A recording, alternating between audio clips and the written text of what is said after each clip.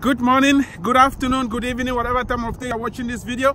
This is Dr. Eric Tangumonkem with IEM Approach, where we inspire, equip, and motivate people to discover God's great potential in them and take action. You need to take action if you want to get any results. It doesn't matter what your goals are, what your dreams are, what vision you have. If you don't add action to it, you are not going to get any results. Stop complaining about your environment. Stop complaining about your circumstances. Stop complaining about your background. Stop complaining about what you don't have. Stop complaining about where you've been. Stop complaining about what you've been through.